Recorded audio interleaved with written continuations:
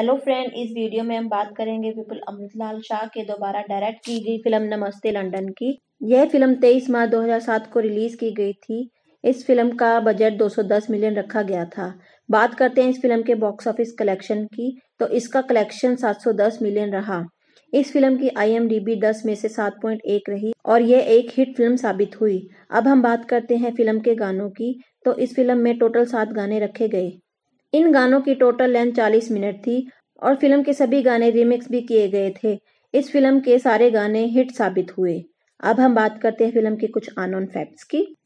इस फ़िल्म में पहले प्रियंका चोपड़ा को लीड रोल के लिए लिया गया था, पर सलमान खान के कारण प्रियंका को बाहर कर दिया।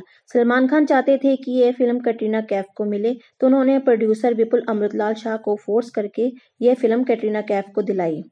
यह फ़िल्म अक्षय कुमार के फ्रेंड अर्जुन सिंह और जसमीत मल्होत्रा की रियल लाइफ पे आधारित है, जिनके साथ रियल में ऐसा कुछ हुआ था, जैसा कि आपको फ़िल्म में दिखाया गया है। यह कैटरीना कैफ की दूसरी ऐसी फ़िल्म है, जिसमें उनकी आवाज़ को डब नहीं किया गया था। फ़िल्म के सारे डायलॉग कैटरीना कैफ ने खुद बोले थे। फ़िल्म में एक सीन था जहाँ कैटरीना शॉर्ट स्कर्ट पहनकर मस्जिद में होती है, लेकिन रिलीज़ से पहले सीन को हटा दिया गया। मेकर्स को डर था, अगर यह सीन फ़िल्म में दिखाया गया तो सांप्रदायिक दंगे होना तय है, जिससे फ़िल्म को बहुत नुकसान होता।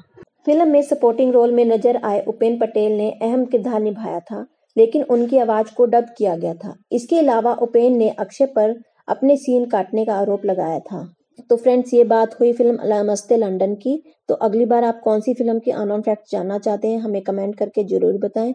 और अगर वीडियो अच्छा लगे तो लाइक, शेयर करें। धन्यवाद।